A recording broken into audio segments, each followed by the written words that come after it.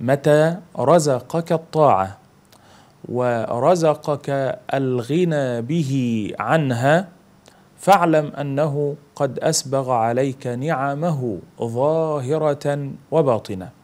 أيها الإخوة الأحباب هذه حكمة جليلة تبين لنا أن طاعة الله عز وجل من أعظم نعم الله على العبد. نعم نعم الله تعالى كثيرة. والله تعالى يقول وإن تعدوا نعمة الله لا تحصوها. والإنسان إذا تفكر في آلاء الله عز وجل كما أمرنا رسول الله صلى الله عليه وسلم لم يستطع أن يعد نعم الله عز وجل عليه من كثرتها. لكن تبقى أفضل النعم وأفضل ما يعطاه العبد أن يهديه الله عز وجل إلى الإسلام وأن يوفقه إلى طاعته سبحانه وتعالى. يمنون عليك أن أسلموا قل لا تمنوا علي إسلامكم بل الله يمن عليكم أن هداكم للإيمان. أيها الإخوة هذه أعظم منة وأعظم نعمة أنعم الله تعالى بها علينا أن هدانا لهذا الدين العظيم. الله عز وجل امتن علينا بهذه النعمة. وكان بعض السلف يقول ما أنعم الله على عباده نعمة أفضل ولا أعظم من أن عرفهم لا إله إلا الله؟ أفضل نعمة أنعم الله تعالى بها علينا أن عرفنا لا إله إلا الله أن دلنا عليه سبحانه وتعالى. وأن هدانا لهذا الدين العظيم الذي هو سبب سعادتنا في الدنيا وسبب دخولنا الجنة في الآخرة. ولذلك أهل الجنة يقولون الحمد لله الذي هدانا لهذا وما كنا لنهتدي لولا أن هدانا الله. والعقلاء من المسلمين والصالحون كانوا يرددون الحمد لله على نعمة الإسلام وكفى بها نعمة. وبعد أن هدانا الله عز وجل إلى الإسلام من أعظم النعم علينا أن يوفقنا إلى طاعته وطاعة رسوله صلى الله عليه وسلم وأن يرزقنا طاعته وطاعة رسوله صلى الله عليه وسلم والاستقامة على منهجه سبحانه وتعالى.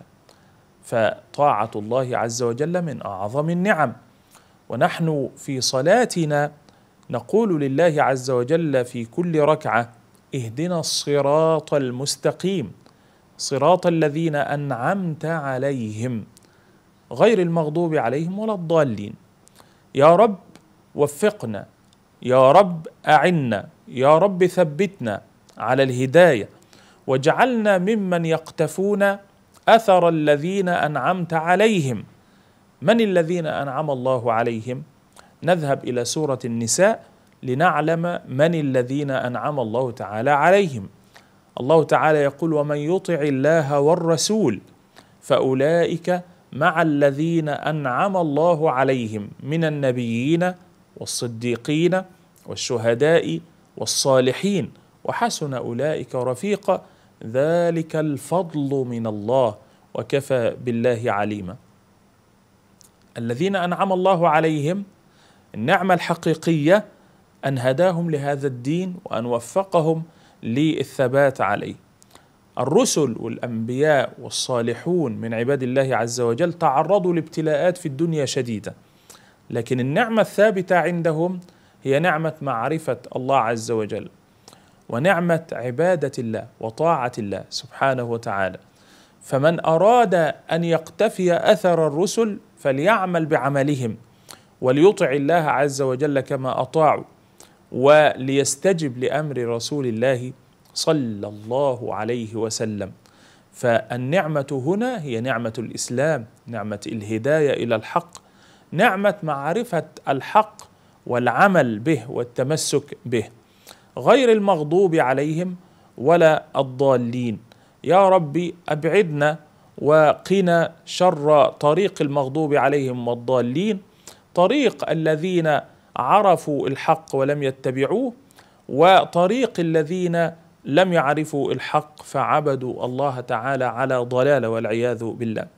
لا نريد هذا ولا هذا نريد أن تهدينا صراط الذين أنعمت عليهم.